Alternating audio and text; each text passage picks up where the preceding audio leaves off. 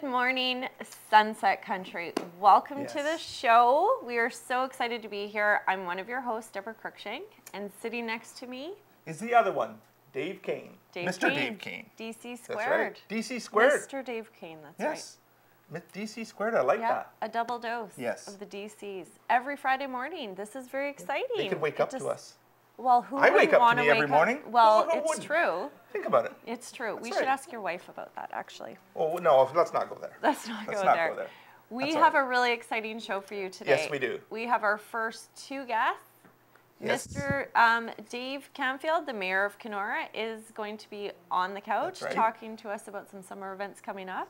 That's correct. He's going to come talk to us. The summer's coming, and we've got Melissa Jean, a local artist. She's going to show up, and I think we're going to see some of her paintings, aren't we? She's bringing paintings. It's fantastic. Very exciting. Yes. We have a couple stories that we're going to share with you as well. We have a group of runners and walkers. Yes, the runners and walkers. You wonder what happens on Saturday morning at 9 o'clock when you got nothing to do? We'll talk about it.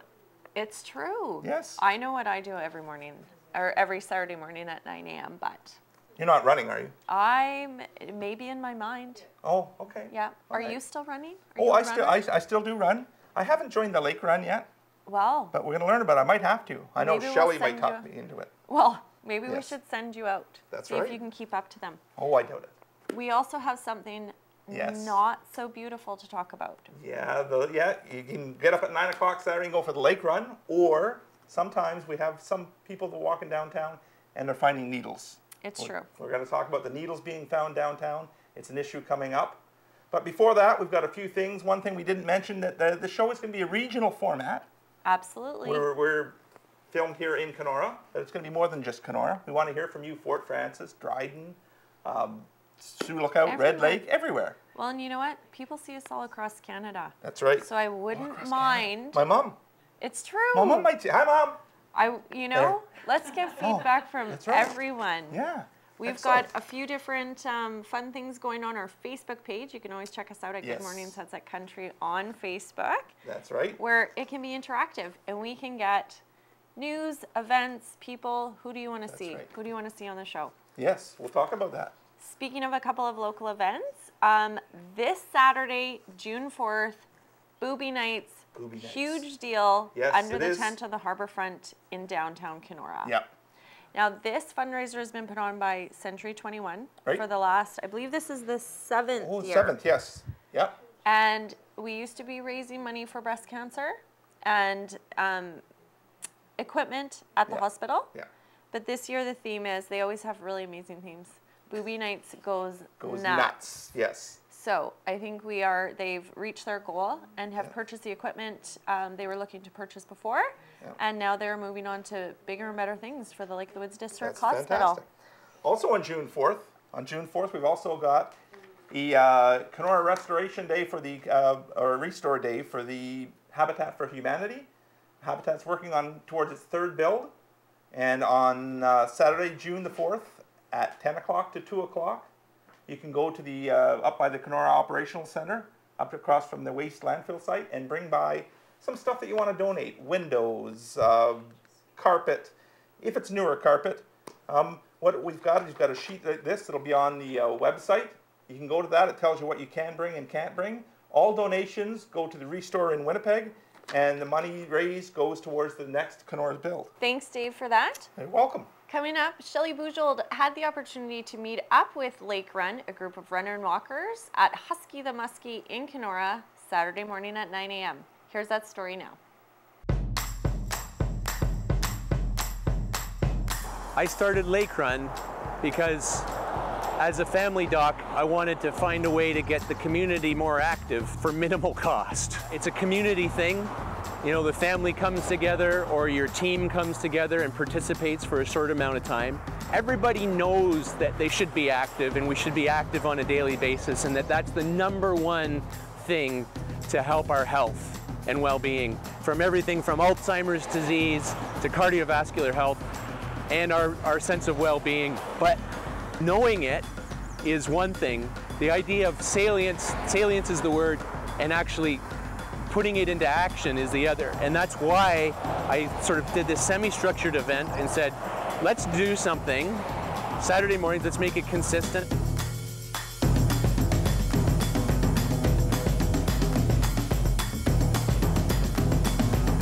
Well, I started running last year and uh, it gives me an opportunity to run with a whole bunch of people um, to get fit. Um, and I guess that's a major, the one reason why I'm doing it is just try to get a little bit more fit, and, and uh, it's a great opportunity to be part of the community. On a beautiful day like this, it's, it's great to be out here. You get your adrenaline going, you find that high, and you think, okay, I can't do this, but then it's like all of a sudden you can, and um, it, there's an excitement there, I think, especially like, I mean, I'm not a little skinny person, so it's great that I can run, and if I can do it, there's a lot of other people that can do it too.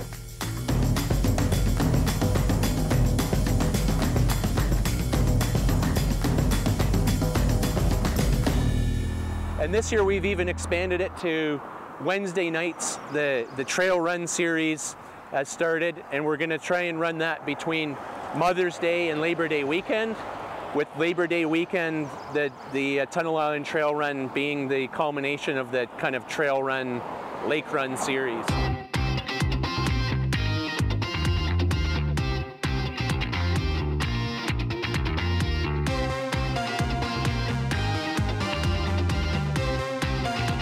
Everybody knows, hopefully over time, that 9 a.m. on Saturday mornings, anybody can show up and run. We even have people with forearm walkers from time to time and uh, people that have just had surgery show up and it's just about participating and it's making it um, a sort of structured community setting. Well, thank you, Shelley, for that. If you got nothing to do on a Saturday morning, meet the runners down by Husky the Muskie. Coming up next, like we said, we've got Mayor Dave Canfield. He's going to come in and join us. He's going to sit on this couch and tell us about what's happening in the city of Kenora.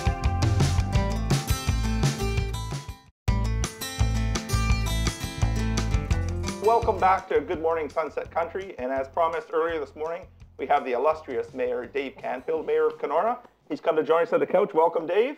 Good morning, and Dave. uh, here we are at the end of May.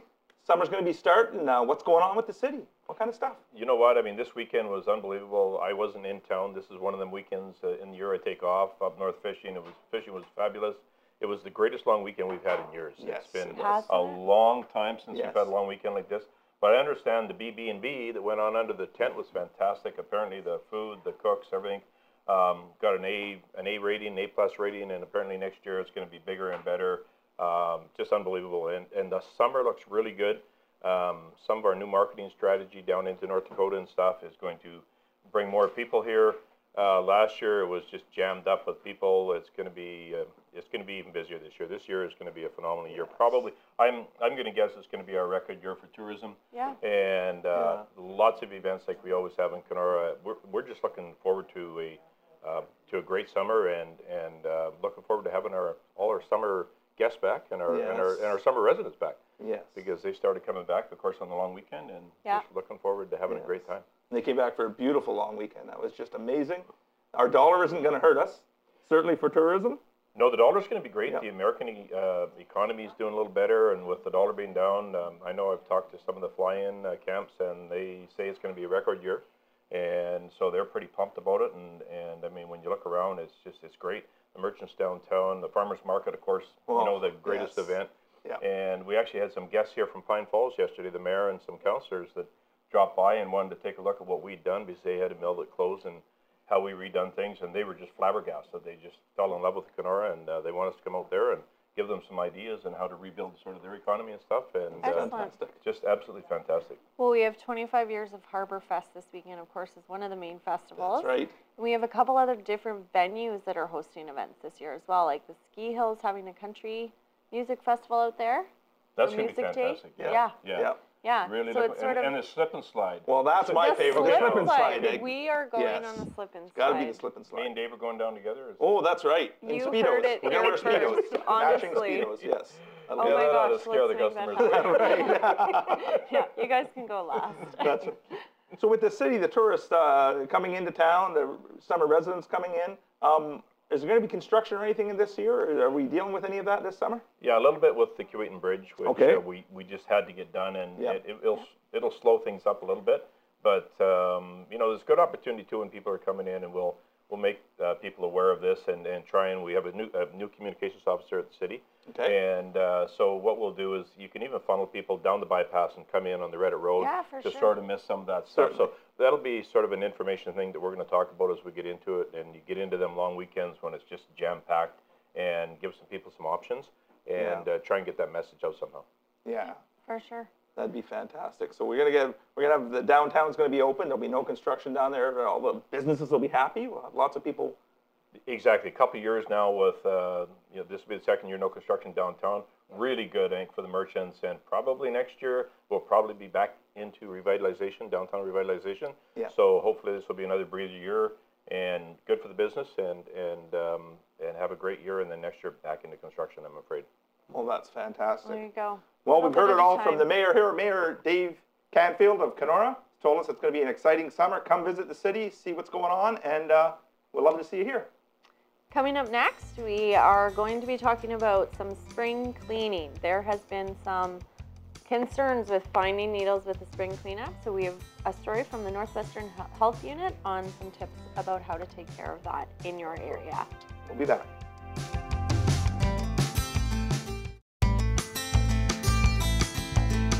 Welcome back to Good Morning Sunset Country. Now, if you're in or around the Dryden area on Yes. Friday, June 10th, there will be a screening at the center, 7 p.m. This is a screening on Lyme's disease. It is called Under Our Skin. I know there is an increased, of course, concern with this going on. Our region, it's tick season. Yep. Friday, June 10th, 7 p.m., the center in Dryden. You can catch that. Um, coming up next, spring cleanup. Let's be safe. Kim Morrison and Jeff Strachan had the opportunity to catch up with the Northwestern Health Yes. Unit to talk about a needle exchange program and how to be safe if you find one of these needles in your community. Part of our harm reduction programming is um, safe needle pickup, and through safe needle pickup, we provide people with proper kits and the tools to safely pick up a needle. Within the kit contents, um, we provide a kit that comes in a bag, and in that you have a sharps container, so you have a proper disposal method. We provide you with gloves because we want you wearing gloves, and a pamphlet that talks about the five steps to how to properly pick up a needle, which I will show you how to do that. Um, there are tongs and alcohol swabs, which we would get you to clean your tongs after each and every use, as well as hand sanitizer to use afterwards. If I was to go out on a needle call and I stumble across down below what we have here, um, I see a needle with a cap on but out of the wrapper. I see a needle with wrapper on and um, a cooker device. Before I actually pick up needles, I want to ensure that I'm bringing everything that I need to safely pick up that needle to the scene. And that means that I am taking my tongs, I have my gloves on, when you determine that your scene is safe uh, and you have your proper tools and equipment, what we recommend you do is put the sharps container by the supplies you're going to collect. Therefore, you're not walking around with a sharps container. If um, I'm walking up to a scene, what you want to do is ensure that when you're picking up, everything's by the end of the tongs and it goes directly into the sharps. Uh, you'll find things like alcohol swabs. There may or may not be blood attached um, on it risks are low, but you want to make sure that you're using tongs and not your hands. We don't want anyone using their hands to pick up any of this gear. Um, and for kids, uh, number one message is do not touch and to go call an adult or a guardian, somebody that can properly pick up a needle. But we also want to educa- educate our kids on why this is not okay to pick up or touch. When we're picking up needles, the recommendation is to always have the pointy end facing out and that you're picking up on the safe end and that you deposit it directly in the sharps. And same with wrapper. A lot of what we find in the community are unused syringes that pose absolutely no health risk um, in terms of infectious disease, but we don't want them left on the ground. So yes, pick them up um, in same practice and dispense them in the sharps container. And once your scene is clean, um, you want to close the lid to your sharps container so that they don't fall out, and you're good to walk away. And after you've picked them up, you use the alcohol swabs.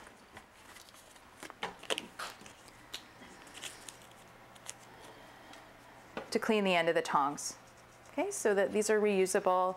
Um, this is reusable equipment that you can put back in your bag. So that's what's involved with the Safe Needle Pickup Kit. Uh, we provide all these supplies.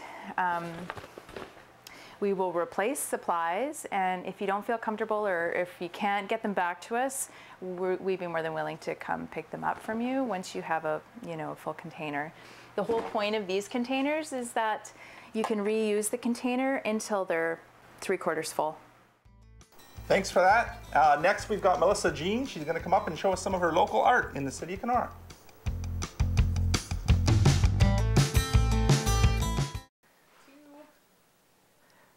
Welcome back. Canadian artist Melissa Jean is here in our studio. Welcome to Good Morning Sunset Country. Thanks for coming. Thanks, Deb. Great to be here. So, we know that you are fresh off a camping trip. Now, these are trips that Melissa Jean takes to go right on location to gather inspiration for her art. Where have you been? What did you see? And more importantly, what's coming out of the studio? Well, I was in BC, so I was in the interior of BC this time, and uh, I went from about Kelowna area to about Banff area within with about 12 days. So I saw a lot of mountains, creeks, uh, rivers, something very different than what I normally paint on Lake of the Woods. Yeah. Um, I do a trip like this every couple years so that I can get out of my comfort zone, see something new, something different. And um, so I've been to Algonquin, the West Coast, different areas, uh, painting on location. Excellent. So was when you say get out of your comfort zone, this Yeah. was a different style of camping, was it not? Yeah, it was it was uh, camping on the mountain, very specific locations to where we wanted to paint, and so it was uh, completely different than what I normally do. But it was great. It's so good to be uncomfortable and um, you know kind of do something totally different, and I love that. So, Excellent. yeah, was great. So Melissa, you can see her art in three different gal- galleries in Canada: Winnipeg, Ottawa, and then of course right here in Kenora. We have an upcoming show too that we're going to talk about. How has your dream of being an artist sort of transpired over the years? Well, I always painted, but I never thought it could be a job until about seven years ago. Um, I started painting more and more and uh, got into a gallery in Winnipeg and it started selling. And there was a point, maybe a year later, where I thought, well, I'd rather be painting, and I gave up my day job. And it was kind of scary, but it was exciting, and luckily it took off. Nice. So, yeah. Well, do you have any advice for an artist sitting at home that potentially, you know, has some good pieces, but just is wanting to take that next step to become an artist and do it fully as a career? Um, the biggest thing is to paint a lot and to get to figure out your style and figure out what you want to say as an artist. And so if you're at that point, I would say just go for it. It's um, you only live once and you don't want to regret it. You don't want to live your life with regrets later on down the road. Uh, a good way to ease into it is to take some workshops, to, to find a mentor, talk to them. How, how does the gallery system work? How does it work to sell? A lot of people are selling on the internet, Yeah. which is great too. I mean, there's not one clear path, um, but whatever works for you. But definitely getting a mentor, taking the workshops to help, um, you know, increase your skill level would definitely help. Well, you are providing a workshop locally, July 9th. And Yeah. you also have a show coming up. Let's talk about that a little bit. Okay, so the workshop is is hosted by Falcon Trails Resort, um, which is close to Falcon Lake, um, and they are providing a catered lunch.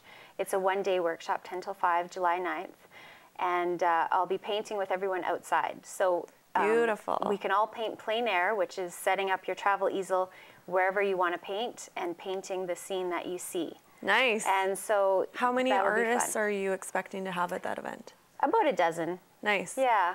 yeah And then you so- walk around and sort of give everybody pointers and tips and stuff? Yeah, I'll be doing a demonstration, and uh, people can come up to me and talk to me while I'm doing that, and I can um, guide them in what they want to do. So it's um, you know letting them explore the area through their eyes, Yes. and then just guiding them through you know, the color mixing and the various technical parts of it, as well as providing a bit of inspiration and answering questions and stuff. So, So these paintings that we have in our studio right now, you will be able to see with your own eyes June 30th at Image One Designs right here in Kenora. Tell us a little bit about that event. So um, I'll be dropping the paintings off just around June 30th, a bit before June 30th, and there's oh, I'm thinking 40 paintings Wow. in total. It's a big one. Um, all Lake of the Woods scenes, some raindrops, a good variety of sizes from 40 by 60 to 12 by 12. Nice. So it's something for everyone to see. Um, so the opening reception of that will be June 30th, which is a Thursday before the long weekend, uh, 6 till 9 p.m.